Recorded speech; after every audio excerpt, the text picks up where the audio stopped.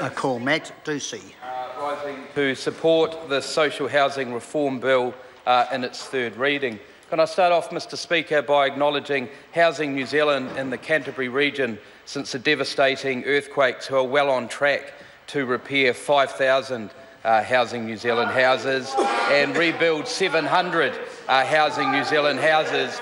And in my electorate alone, Mr Speaker, in Waimakariri, they're on track to rebuild and repair every house. And in fact, we will end up with more Housing New Zealand houses than before the earthquakes. And can I acknowledge and congratulate the very creative community organisations in my electorate who are out buying affordable housing for their customers. And could I say to those New Zealanders, Mr Speaker, those 3,000 extra New Zealanders under this legislation that will get housing support, tell them that the Labour Party said no, tell them that the New Zealand First Party said no, tell them that the Green Party said no, but tell them that this national government said yes. And to all those extra tenants that will get extra help under this legislation by wraparound services.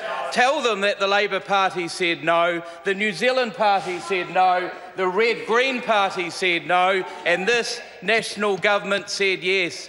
Mr Speaker, we are the Workers' Party. We're working hard for the working people of New Zealand, and I commend this bill to the House. Uh, the Honourable Annette King.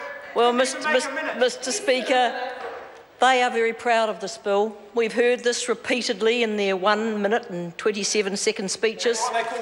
We heard it again in the second reading in their one minute and 40 second speeches. We heard it again with